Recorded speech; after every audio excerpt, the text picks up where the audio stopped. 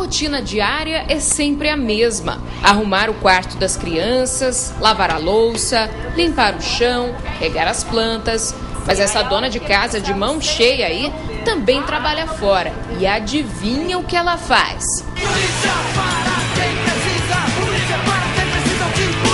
Aos poucos, a mulher frágil vai trocando de papel com a autoridade. A mulher continua sendo mãe, esposa e também profissional.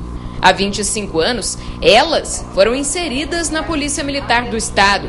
De lá para cá, muita coisa mudou. Mas quem entrou na primeira turma feminina lembra das dificuldades. Nós tínhamos colegas que falavam sobre é, por que, que não está lavando roupa, não vai conseguir trabalhar, não vai conseguir colocar uma algema.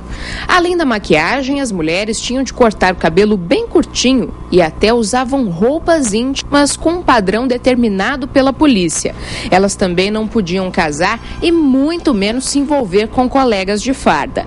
Caso contrário, ficavam presas ou podiam até ser expulsas da PM. A major é casada com um comandante e conheceu o marido no quartel.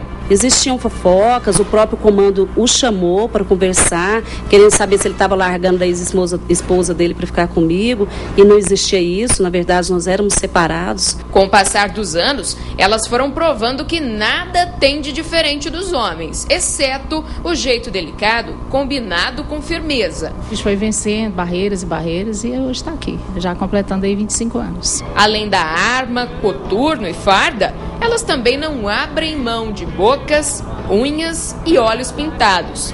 Os acessórios também são companheiros inseparáveis. A produção intimida e algumas têm até dificuldade para arranjar namorado. Assustam sim.